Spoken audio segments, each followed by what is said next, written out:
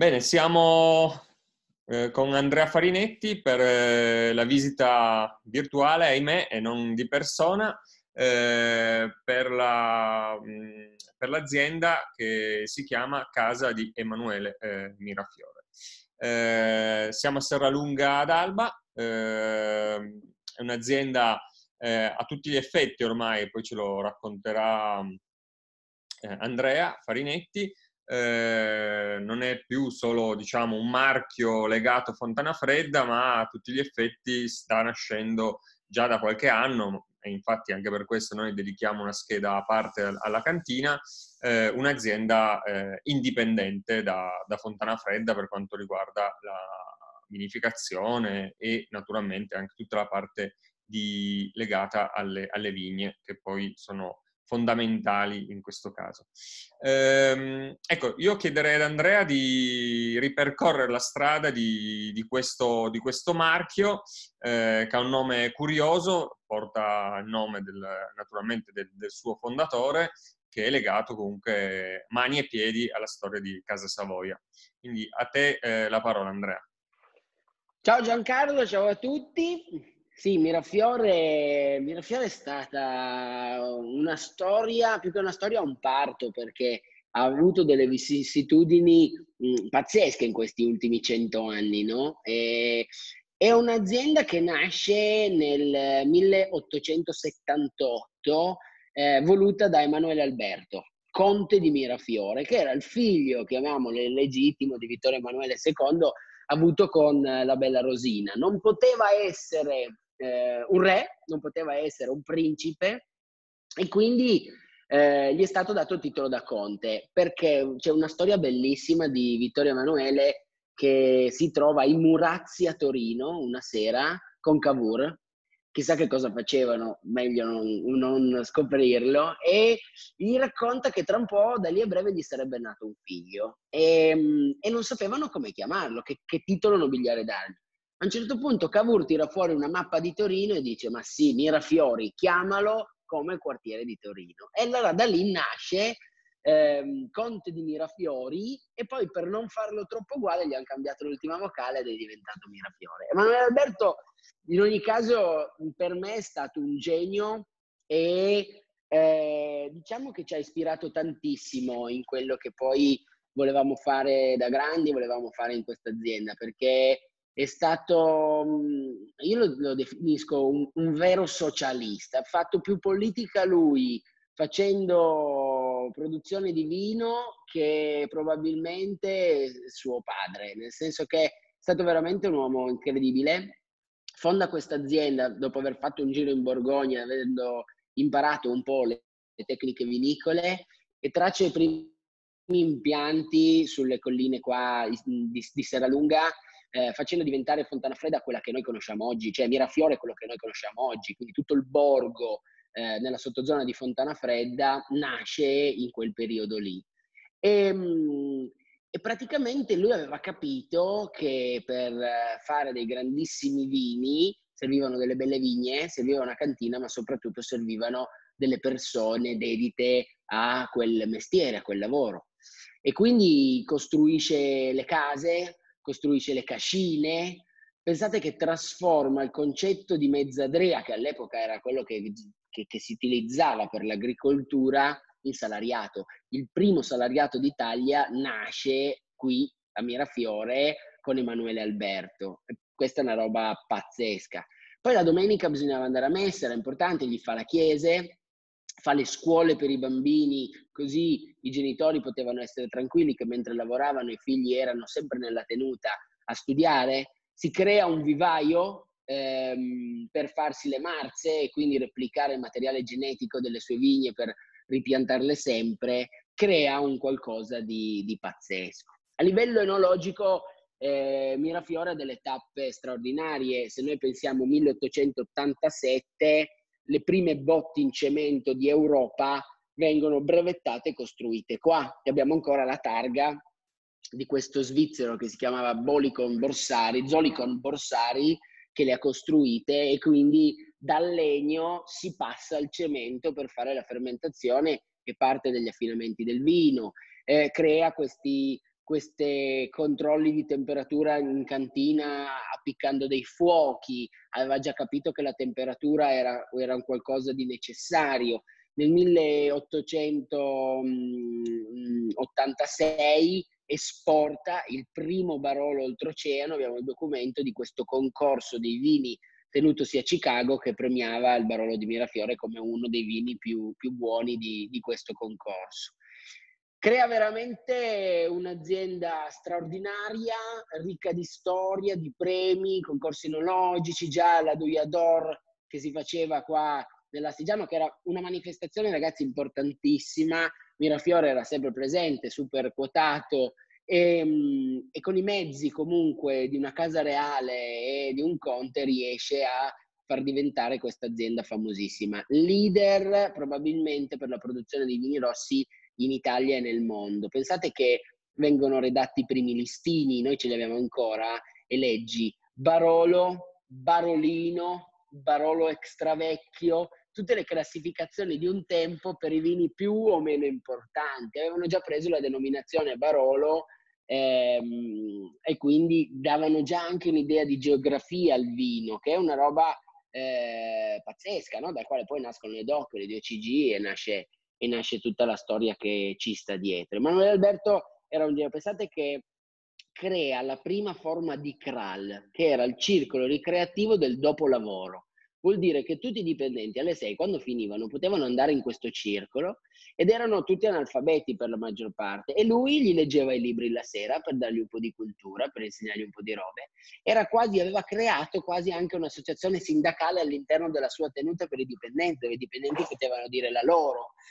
Era incredibile, aveva questi vigneti qui a Serralunga, nella zona di Alba, la Bernardina, quella dove oggi c'è un produttore famosissimo di e, e molto bravo che si chiama Ceretto, aveva una parte di vigneti eh, alla Morra e una parte di vigneti a Barolo.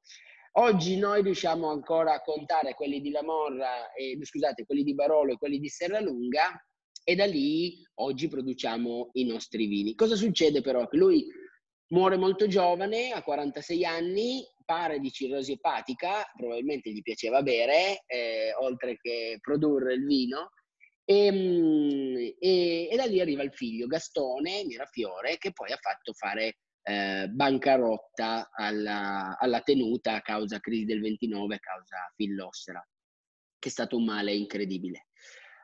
A quel punto la, la tenuta viene venduta a Monte dei Paschi di Siena, mentre il marchio viene venduto alla famiglia Gancia, che aveva un sogno nel cassetto, che era quello di eh, incominciare la produzione di vini fermi e soprattutto di vini rossi, Barolo, Barbaresco, che già si producevano qui da, da, da Mirafiore. Incominciano a produrre a questo marchio, eh, Gancia, famosa eh, azienda eh, spumantistica con spumanti molto buoni, eh, sugli Altalanga addirittura secondo me straordinari, incomincia a produrre dei vini rossi, ma purtroppo eh, dopo un po' di anni decide di abbandonare il progetto e mette nel cassetto per 70 anni questo marchio. Nel 2008 noi diventiamo proprietari della tenuta di Fontana Fredda, dell'azienda Fontana Fredda, leggendo la storia eh, capiamo il valore e l'importanza di, di, questo marchio. E con il grande rapporto che abbiamo da sempre con la famiglia Gancia siamo riusciti a, a riportarlo a casa a fare questa unione.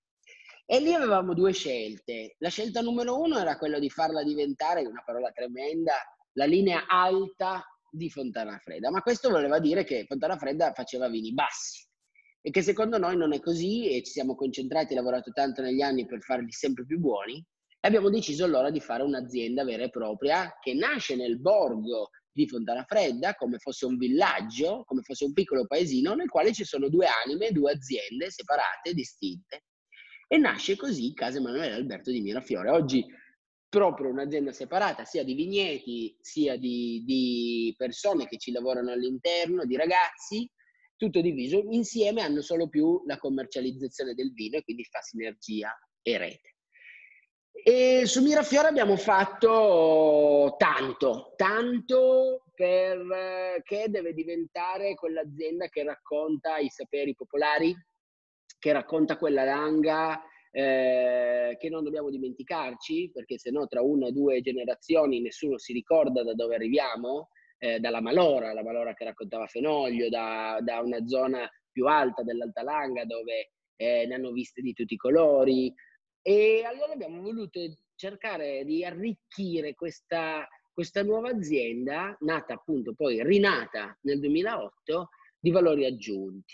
Ehm, cercando di arrivare fino addirittura a parlare di magismo con questa vigna magica che magari dopo vi racconterò, a cercare di fare solo vini puliti, quindi dall'anno scorso siamo 100% certificati bio e oggi facciamo solo vini biologici, è una produzione molto ridotta, parliamo di 150.000 bottiglie, che è la, possiamo dire la dimensione media, medio-grande di un produttore storico della Langa oggi, e facciamo soltanto i vini tipici di, del nostro territorio. Quindi la bollicina, perché abbiamo una tradizione spumantistica che risale all'850 e quindi è storia e facciamo il nostro altalanga, facciamo solo uno, 100% pino nero, facciamo il dolcetto, la barbera, il nebbiolo e poi quattro baroli differenti. Ecco Andrea, ehm, concentriamoci sui vigneti che comunque ehm, a tutti gli effetti sono eh, supposizioni di estrema vocazionalità, nel senso che vi trovate comunque su vigne di grande valore, da Lazzarito a Paiagallo, agli stessi vigneti che comunque sovrastano il borgo di, di Fontana Fredda. Ecco, mh, mhmm, concentriamoci un attimo su, sul discorso dei vigneti, poi so che con Alberto Grasso, il vostro agronomo di gruppo, avete lavorato molto su, l'hai già preannunciato, su questa svolta biologica di certificazione. Eh, se avete anche qualche eh, nuova idea o comunque qualche sperimentazione in atto, visto che è un po' l'azienda dove osate forse di più dal punto di vista anche eh, agricolo e anche come stile, ma magari sullo stile ne parliamo dopo. Sì, guarda, abbiamo allora vigneti mh, mh, tra le posizioni più vocate per la produzione di Barolo e eh, con quelle, perché quelle abbiamo, facciamo anche il nostro Langhe Nebbiolo e il nostro Pietra Magica, quindi sono uve che potrebbero tranquillamente essere utilizzate per fare nebbiolo da Barolo e noi le declassiamo per fare eh, grandi vini anche sui vini mh, più popolari, no? eh, più pop. E, ehm, mh, abbiamo Lazzarito, eh, che quindi siamo veramente a ridosso del comune di Serralunga, eh, fatto da una terra veramente magnifica, eh, una delle parti più antiche, un terreno che può risalire, risalire quasi fino a 13 milioni di anni fa, ehm, quando, è emerso, quando è emerso dal mare, lì abbiamo una concentrazione di marna eh, blu e di calcare incredibili e da lì riusciamo ad ottenere dei vini, quelli che, possono, che una volta si definivano austeri, no? quindi di grande potenza, ma la potenza non dobbiamo immaginarcela come spessore, come dimensione, perché in realtà poi i vini sono molto fini e molto dritti e quindi quasi dei vini che ti fanno vibrare un po' la spina dorsale quando, quando si assaggiano. Ehm, invece su Barolo eh, terreno leggermente diverso, sembra un misto eh, di marna e di calcare con percentuali di sabbia un po' più alte, quindi lì abbiamo eh, delle, delle, sensazioni diverse e Paiagallo è quasi la continuazione naturale di Cannubi, eh, poi ci sia stata fatta una rotonda in mezzo, una strada e si è tagliata la collina, ma la derivazione è, è la stessa e quella è considerata proprio la spina dorsale della Langa perché divide in due le due grandi aree geologiche che noi abbiamo e lì si riesce veramente ad avere un vino diverso. Diverso significa che è difficilmente paragonabile, difficilmente dettato da uno stile, è unico e forse per questo che quella parte lì poi negli anni è diventata così eh, famosa, così popolare. E, ehm, e, poi sull'agricoltura, sull'agricoltura facciamo eh, bio, come abbiamo detto, ma eh, ormai da tre anni stiamo sperimentando su alcuni nostri vigneti, io lo chiamo una sorta di biodinamico nostro, eh, che vuol dire senza magia, eh, ma con un po' più di, di ragionamento dietro, di scienza, il che vuol dire che ci siamo concentrati su cercare di eliminare le ultime due molecole eh, di origine chimica che sono il rame e lo zolfo. Eh, chimica naturale perché vengono estratti da miniere, non è che sono state inventate da sintesi, che però comunque sono un qualcosa che in natura, in quelle percentuali, in questi luoghi non c'è e, e che quindi comunque un po' nei terreni rimangono, sono metalli di solito pesanti e quindi impossibili da digerire da parte del terreno. E allora abbiamo provato eh, da tre anni ormai con l'aiuto di un, eh, di un eh, grandissimo eh, toscano che si chiama Ruggero Mazzilli a eh, cercare di andare verso questi prodotti che si chiamano induttori di resistenza, solitamente di origine eh, 100% naturale, possono essere scorze d'arancia oppure eh, alghe marine, sono mh, dei trattamenti ricchissimi di enzimi. Questo enzima che effetto ha? Che quando va a contatto con la pianta stimola la pianta ad andare in autodifesa, cioè gli enzimi della pianta a difendersi. Questo è, um, è stato successo per noi perché comunque dove l'abbiamo provato per tre anni di fila non abbiamo avuto malattie, solo grandine, ma su quella non potevamo farci niente. E, ehm, non abbiamo avuto malattie, però abbiamo avuto un calo del 40% della produzione, perché comunque la pianta nello sforzarsi a eh, non prendere malattie, che vuol dire mettersi la sciarpa, mettersi il cappello e proteggersi in questo senso, ha dovuto lasciare un po' meno energia per la produzione di grappoli. Quindi questo è l'effetto che stiamo notando. Però è un successo, cioè pensare di non utilizzare veramente più niente eh, e comunque riuscire a produrre, a produrre una qualità giusta, se poi la gente riconoscerà anche lo sforzo, questo diventerà veramente a 360 gradi un qualcosa di sostenibile, anche poi a livello economico, che comunque è sempre anche importante da un certo punto di vista riuscire a, a ripagare tutti questi lavori, questi sforzi che, che si stanno facendo. Quindi questa è la rivoluzione che stiamo provando è un qualcosa che però ce la teniamo per noi e la proveremo fino a quando non avremo la certezza che stiamo facendo un qualcosa di giusto. Anche un po' il profilo aromatico del vino cambia, eh? E questo è un qualcosa di bello. Si trovano molto più sentori di incenso, di paglia, un po' diversi, eh, con qualche nota anche di frutta po' strana. Poi magari quando avremo tempo potrai di nuovo tornare a trovarci, li assaggeremo insieme perché sono abbastanza divertenti. Grazie. Ehm, passiamo invece alla, allo stile della, del, dei, dei, vini di Casa Mirafiore. Ehm, perché io l'ho sempre trovata mh, quando ho avuto modo di degustarlo, ormai sono diversi anni che assaggiamo fin dall'inizio della guida che assaggiamo i vini della, del, di, questa, di, questa, azienda e eh, ai tempi mi ricordo tu eri molto, sei molto più giovane di me, quindi eri un ragazzino, però assaggiavo con il vostro ex enologo Danilo Drocco e poi con te dopo e poi anche con Giorgio Lavagna che comunque è entrato nella squadra eh, a pieno titolo negli ultimi, negli ultimi anni Ecco, ehm, uno stile comunque estremamente classico, eh, se vogliamo questa diatriba un po' ormai vetusta e forse anche un po' inutile ormai da tirar fuori, però per far capire al, a chi ci ascolterà comunque uno stile estremamente tradizionale, con eh, un naso che alcune volte vira addirittura su, su alcune etichette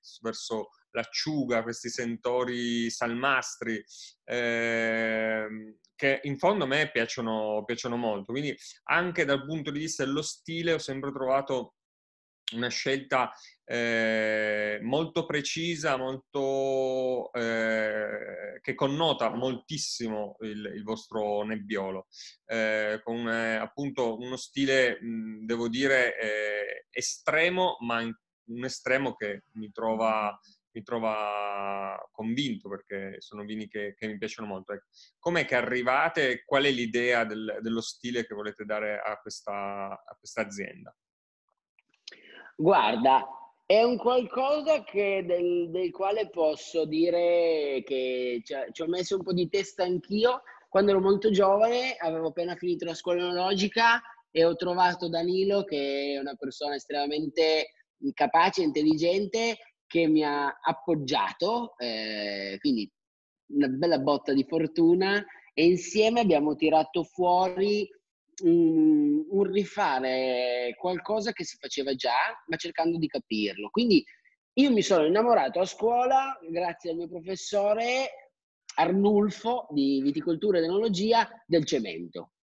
E avevo fatto questa prova, sperimentazione, alla scuola logica si poteva, era bellissimo, si studiava poco, si lavorava tanto, si faceva questa questa, avevamo la cantina sperimentale dove si sperimentava io avevo fatto una, questa vinificazione in sesta sul, in cemento di Nebbiolo e mi era piaciuto da morire. E, e quindi nel 2012 eh, con Danilo abbiamo deciso di provare a reintrodurre il cemento fatto da un'azienda italiana che è la Nicovelo, l'ultima rimasta in piedi dall'arrivo dell'acciaio inox, perché l'acciaio ha fatto fallire una quantità di aziende produttrici di cemento nel, nella storia. Io ne ho guardate un po', eh, sono andato alle varie fiere di settore, sia la Francia che, che l'Italia, eccetera, e la diatriba era resinata o no.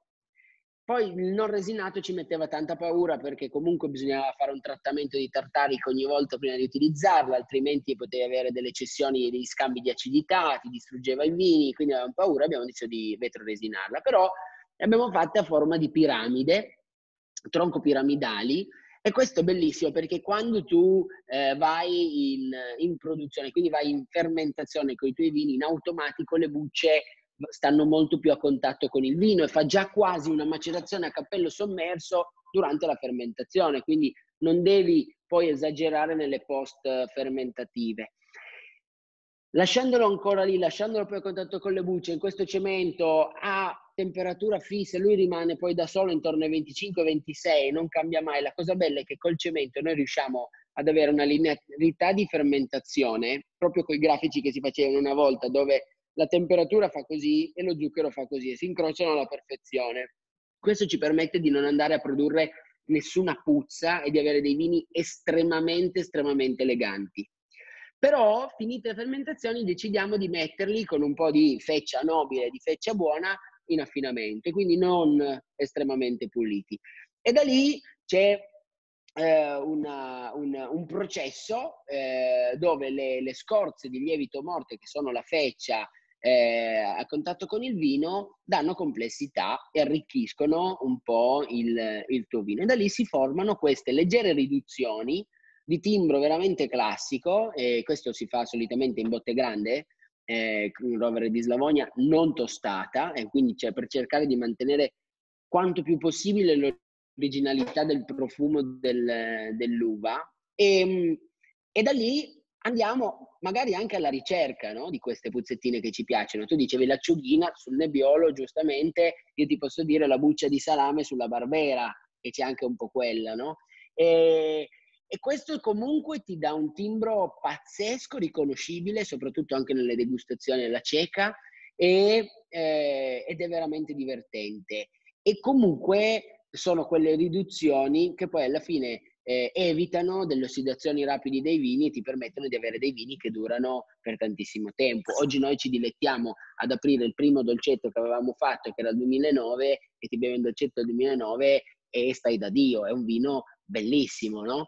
E quindi ricerchiamo quello, ricerchiamo la complessità del nostro territorio e la capacità di durare nel, nel tempo.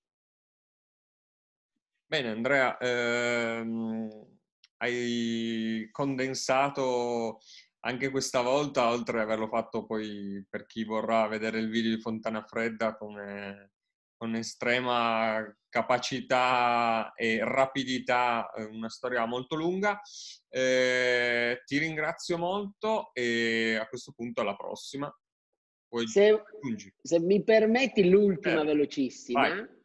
perché dopo tutto questo che ti ho raccontato che abbiamo fatto, abbiamo deciso di approcciare il magismo. E ci hanno guardato già un po' tutti male, ma eh, vuole essere un qualcosa di, di, veramente diverso. Io ho esordito dicendo con Mirafere vogliamo mantenere viva la memoria della langa storica per il futuro. E allora abbiamo fatto il magismo, questa qua che abbiamo chiamato Vigna Magica, eh, è un progetto che nasce... Sì, sì, sono queste Puoi qua. vedere l'etichetta?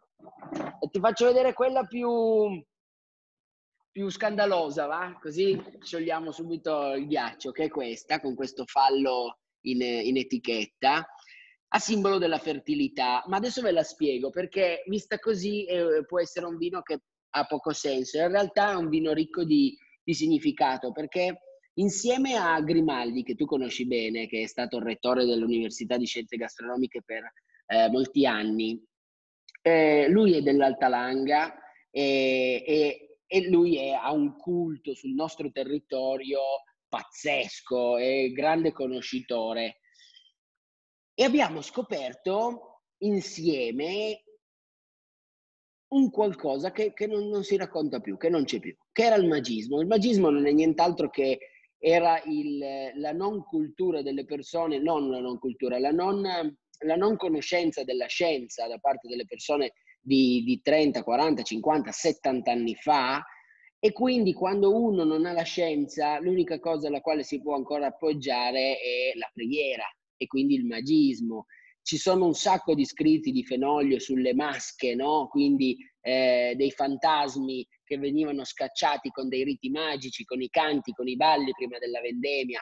E abbiamo scoperto che in Altalanga, a Vesime, eh, qualche anno fa sono state ritrovate due pietre antropomorfe. Queste pietre antropomorfe che erano a forma eh, di donna incinta, forma di essere umano intanto, perché riprendevano quello che era il Dio, e poi a forma o incinta, a forma di fallo, l'uomo con la barba, ognuna di queste aveva un significato. Il fallo era la fertilità, la donna incinta era la protezione della madre, quindi di madre natura, il, eh, l'uomo con la barba era l'antico saggio e queste pietre erano piantate come fossero i pali dei filari, tutto intorno ai vigneti eh, sulle punte più alte della langa. E questo serviva sia come protezione, una sorta di stone age eh, della langa, di protezione del, dei mali che potevano attaccare la vigna, quindi la non fertilità, la grandine, il brutto tempo e questi contadini che pregavano queste pietre.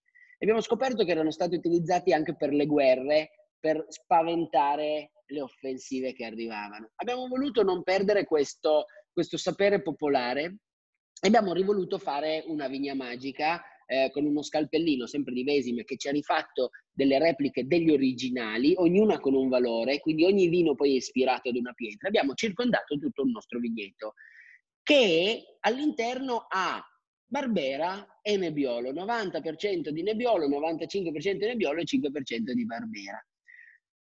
Potete crederci o no, intanto nel 2017 che c'è stata, se lo ricordano tutti, ad aprile una gelata pazzesca, a noi ci ha preso quasi tutta la parte bassa, questa vigna no, poi puoi dirmi è esposta a sud, ha degli alberi davanti, è stata... e non ha preso. L'anno scorso una grandinata che noi ci ricordiamo bene perché abbiamo raccolto l'11% ed era pietra magica perché ha preso tutta la collina ma quel versante lì non l'ha colpito. E sul vino abbiamo voluto fare che cosa? Ritirare fuori un'altra parte di memoria eh, della Langa, ovvero eh, il primi Barolo. Come si facevano i primi Barolo? Intanto non affinavano per 3-4 anni in botte, un anno, un anno e mezzo al massimo, poi venivano messi in commercio, ma soprattutto eh, non erano 100% nebbiolo. Perché? Perché all'epoca i vini scarichi di colore non piacevano al mercato, non si vendevano. E quindi finite le fermentazioni si faceva sempre un ripasso sulle bucce delle barbere che ti davano quel tocco di acidità, quel tocco di colore e anche un po' di brio al vino, per poi ritornare sulle bucce del nebbiolo e finire le fermentazioni e poi seguire tutto lo stile tradizionale che noi conosciamo dell'affinamento del Barolo. E quindi con l'annata 2017, che è stata la prima, abbiamo voluto riportare alla luce un vino fatto in questo stile e soprattutto riportare alla luce una storicità di preghiera e di eh, intelletto dei nostri antichi e di culto che altrimenti probabilmente sarebbe andata persa perché queste due pietre originali prima o poi passano da un garage all'altro e nessuno le, le ritrova più. E aggiungo che in tempi di Covid forse il magismo potrebbe anche servire. No, sì, qualcuno c'è la scienza, però... Qualcuno mi ha detto, ma guarda che queste pietre magiche che dovrebbero proteggerti da quando le hai messe a grandinate, è arrivata la gelata, adesso il Covid, forse conviene che le togli. Beh, però siete sopravvissuti tutti e tre. Dai. Siamo sopravvissuti. Dai, un saluto. Ciao Andrea. Grazie mille, ciao a tutti.